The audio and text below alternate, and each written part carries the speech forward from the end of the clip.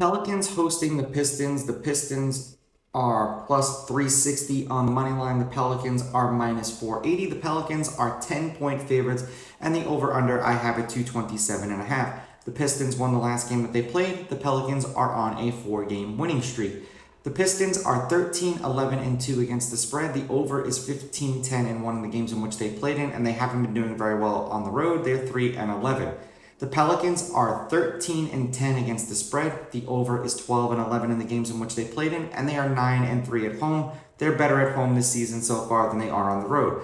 Head to head, the Pelicans are on a three game winning streak. The Pelicans are 7 and 3 against the Pistons in their last 10. The favorite has won and covered the last two games, although the underdog is 7 and 3 against the spread. The favorite is 5 and 5 on the money line.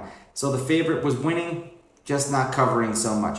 The under has hit in their last two games. The under is 6 and 4, and the under 227 and a half is 8 and 2. The last game that they played, the Pelicans won 111 101. The game before that, they won 109 93. The game before that, they won 128 to 118. And the game before that, the Pistons won 123 to 112. Now, I have seen this spread kind of between 10, 10 and a half, and so on and so forth. I'll take the Pelicans to win the game, but I'll take the Pistons at anything north of 10 because seemingly that seems to be the sweet spot when these teams play each other. So if I can get 10 and a half and win by a half a point, I'll be happy. And I'm going to go under in this game. These are just my picks. If you disagree, please go with your gut and please bet responsibly.